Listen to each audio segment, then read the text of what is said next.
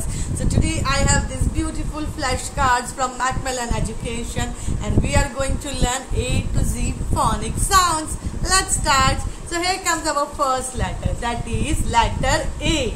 This is capital A. This is small a. A for aeroplane. Uh, look at this picture and tell me which more thing starts from A.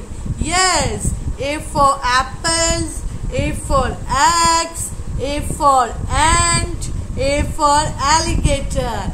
And the sound of letter A is air. Air. You have to imagine there is an ant on your hand and the ant is really very bad. So how you are going to remove your hand? Ant? Like this, right? So this is the action for it. Air.